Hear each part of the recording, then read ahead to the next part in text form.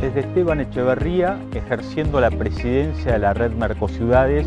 que nuclea a 365 ciudades de Sudamérica,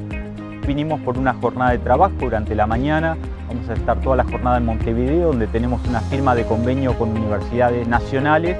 para acrecentar los vínculos vinculados a educación y a capacitación. Por otro lado, tenemos reuniones con intendentes de este país, de Canelones y de Montevideo, reunión con el embajador nuestro argentino y luego una reunión con todos los equipos técnicos de las distintas unidades temáticas para finalizar el día donde vamos a descubrir una placa a Esteban Echeverría que falleció en esta ciudad de Montevideo y al cual esta ciudad dignamente le rinde tributo.